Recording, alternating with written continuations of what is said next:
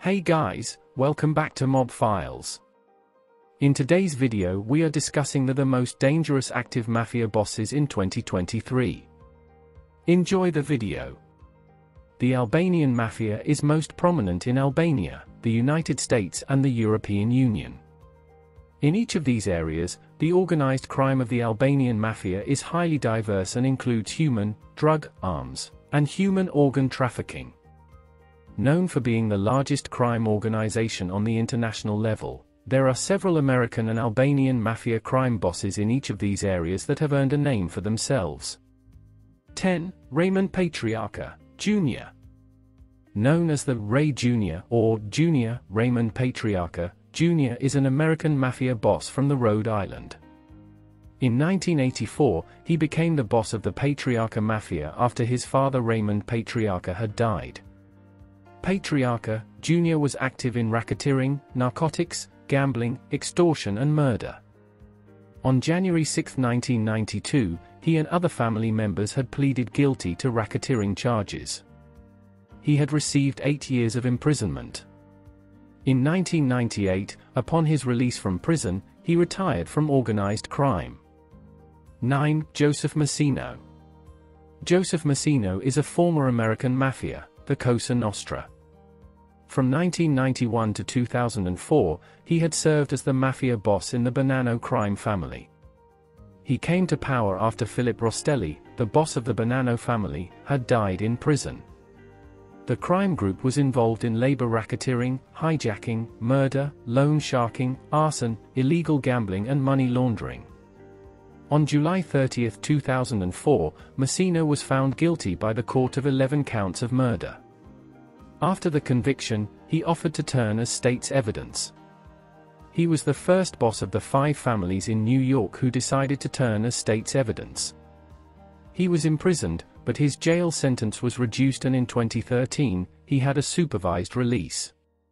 8. Semyon Mogilevich A Ukrainian-born mob boss, he was the 49th fugitive to be placed on the FBI's most wanted top 10 list in 2009. Considered to be the current head of the Russian mafia, this modern-day mafia boss controls a powerful crime organization in Moscow that maintains a strict code for their proceedings, which include contract killings, illegal drugs, kidnapping and illegal gambling. While it is well known just how much power Mogilevich has, he is well protected by politics.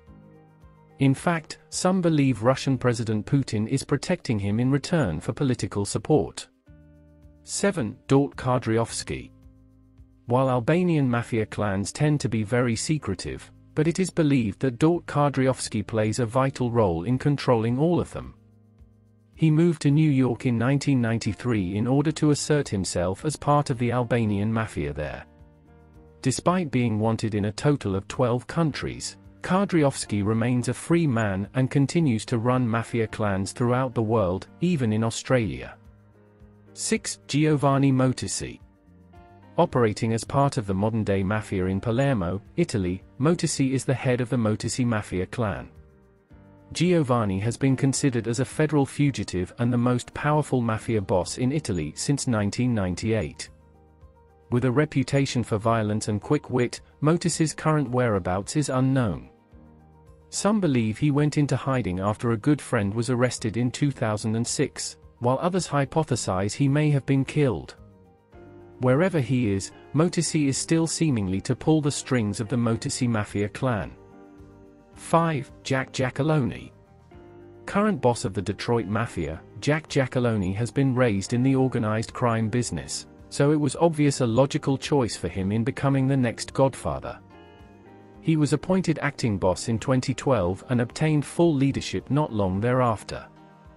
As a member of the American Mafia today, he has managed to elude police and authorities, although he did plead guilty in exchange for a two-year prison sentence in 1987. 4. Vito Rizzuto He is smart enough to have transported and distributed large amounts of drugs, successfully laundered money, and earned millions from illegal gambling and contract killings. Over the past several years, a turf war has been waged in Quebec, Canada between an Italian family run by Vito Rizzuto and another Italian family. In 2007, Rizzuto was arrested and sentenced to 10 years in jail. During this time, several members of the Rizzuto family have been murdered.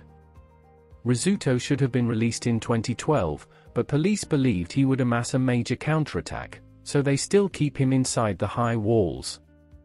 3. Terry Adams Smoothly and efficiently, Terry Adams and his brothers run one of the most powerful criminal organizations in the United Kingdom, creating a gross net worth of approximately $200 million.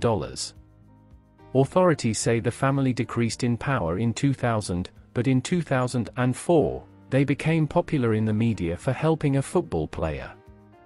Terry Adams was jailed in 2007 for money laundering and sentenced to seven years in jail, but was released in June of 2010, only to return in August of 2011 for breaching his license.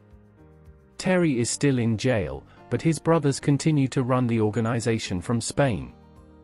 2. John Sciortino Known as Johnny Joe, Sciortino currently is the head of the Kansas City Mafia family, another one of the biggest American mafia today, with Peter Simone as his underboss.